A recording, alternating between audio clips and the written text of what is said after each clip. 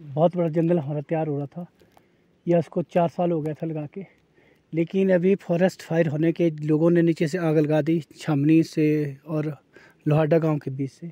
और उसने हमारा पूरा का पूरा ये, जो हमारा चार साल का मेहनत था, वो ख़त्म कर दिया।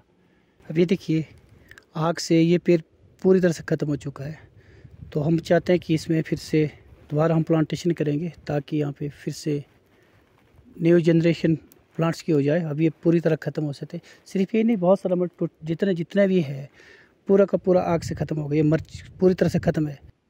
Since this forest fire and many more other forest fire are intentional in nature we now have decided to put our focus more on awaring people locals around about the forest fires and shift our focus uh, away from the plantation drives. Because even after having two years of hard work on the plantation that we had in Nadhar in 2021, the forest fires still destroyed it.